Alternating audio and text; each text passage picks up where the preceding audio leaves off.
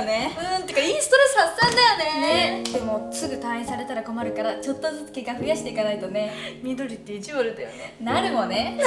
トイレ行こ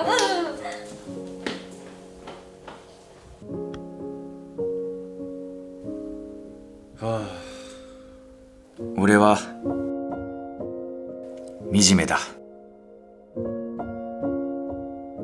女子にも勝てないなんてどんだけ情けないんだよここの病院に入院することになったのは2ヶ月前。人見知りで誰とも話せなかった俺を気遣って看護師さんが病室を変えたことが地獄の始まりだったんだ。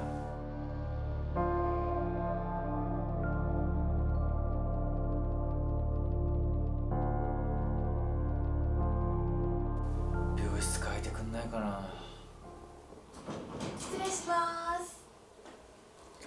新しく入った看護師さんがいるから紹介しようと思って。さあ挨拶してちょうだいはい、新人の小沢と申します。よろしくお願いします。っていうことだから何かあったら何でも言うのよ。よろしくお願いします。あのどうしたの？病室を変えていただきたいんですけど。えー、なんでそんなこと言うのよ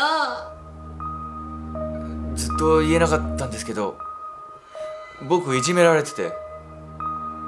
あ あもうあなたいじめってそんなの遊んでくれてるだけでしょ。一人でいたかわいそうなあなたに構ってくれる二人にむしろ感謝しないと。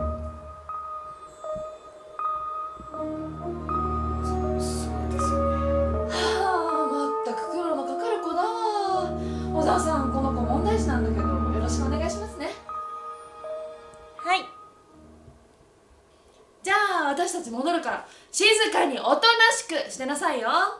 じゃあ行きましょうか。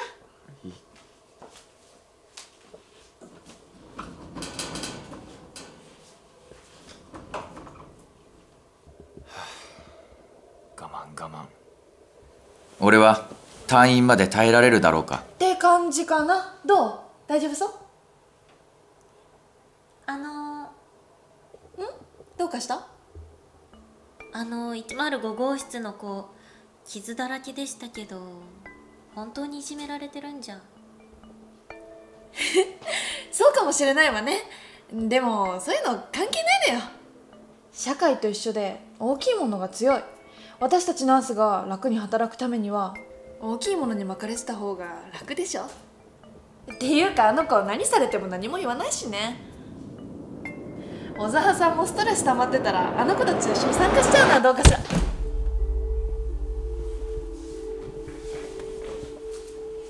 虫けらだ。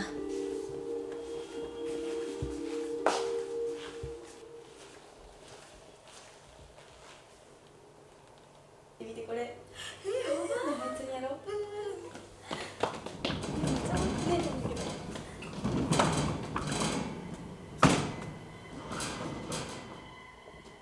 あメガネくんおはよう。今暇だよね。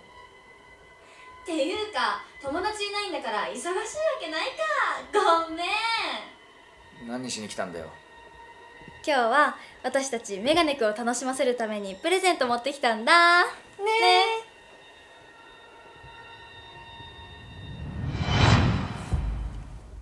じゃーん。それって銃？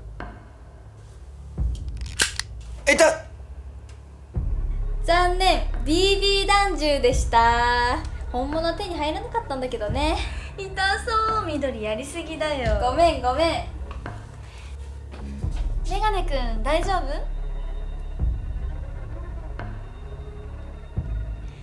そんな怖がらなくても何もしないよ。痛かったよね。もうこれで終わりにするね。あい。た さすがだねメガネくん。めっちゃ面白かった。女に興味なさそうなメガネくんでも私の魅力には翻弄されてしまったか。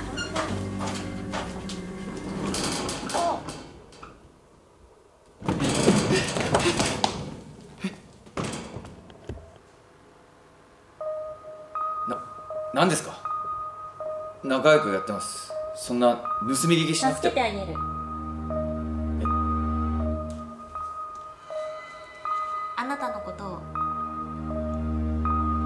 それってどういうこと？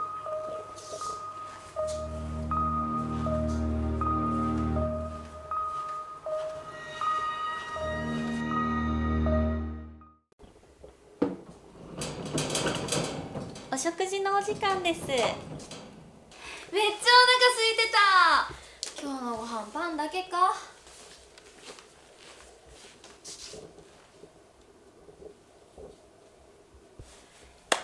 いただきます。いただきます。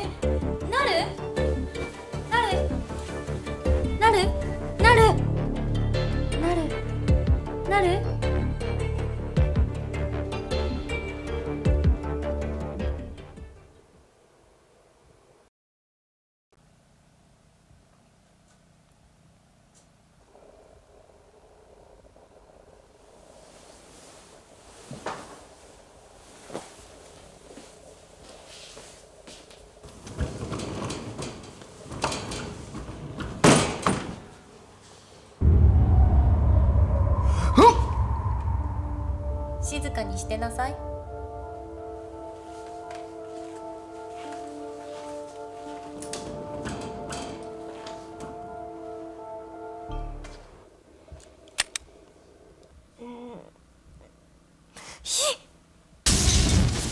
看護師さん。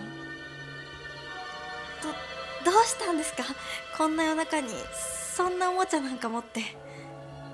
あなた今暇かなと思ってプレゼントを持ってきてあげたのよ。き聞いてたんですね。悪趣味。ビビビらせようと思っても無駄ですよ。私あの鼻眼鏡と違ってダサくない。うるさい虫。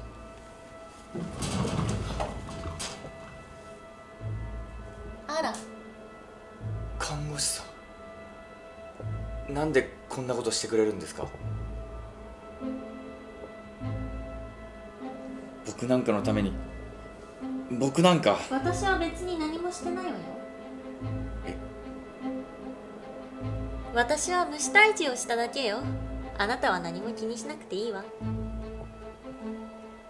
また何が起きるかわからないわよ。さっさと退院してしまいなさい